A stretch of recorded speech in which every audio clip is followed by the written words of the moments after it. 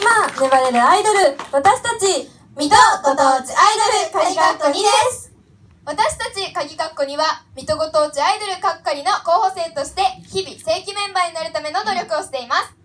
私たちもメンバーさんみたいにもっともっと水戸を盛り上げられるように頑張るぞおーそれではメンバーの自己紹介はい、大きいけど最年少のララです。フレッシュフレッシュイエはい。みんなに元気の連鎖を届けます。レンです。ーホップステップ。ジャンプイエーイ。はい。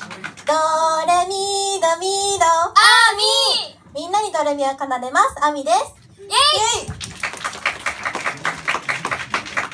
この水戸ご当地アイドル、鍵学校2のメンバーもよろしくお願いします。よろしくお願いします